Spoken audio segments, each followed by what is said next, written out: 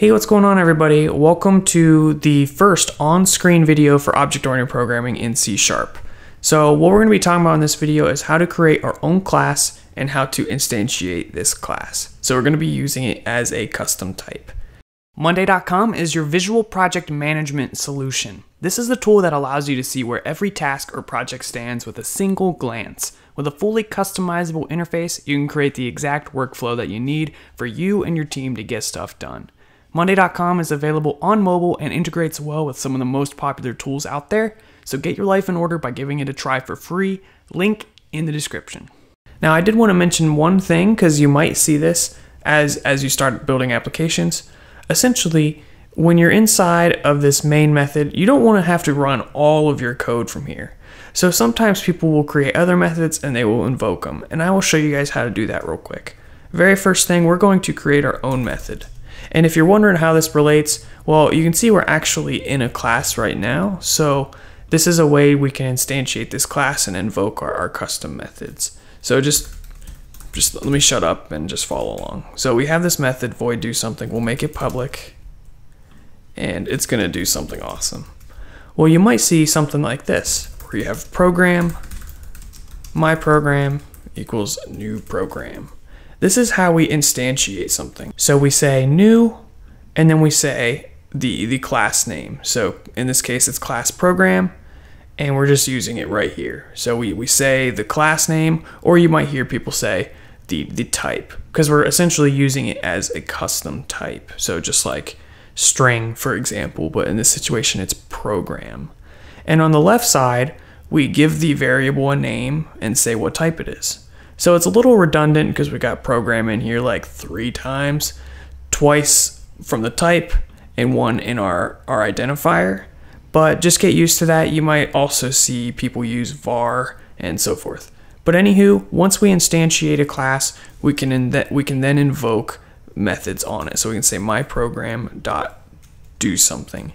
And that is how we would start executing code that was down here.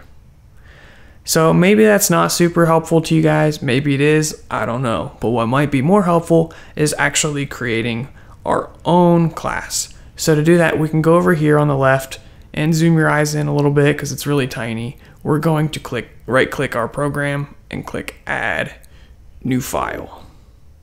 And then here there's an option empty class and we can give it a name. We'll, we'll do uh, Pascal casing or Pascal and that's just where every word is capitalized with the first letter and we will call this user, so singular. And this is what it gives us. So you have this public class user, and then you have this grayed out code here, which is what's known as the default constructor.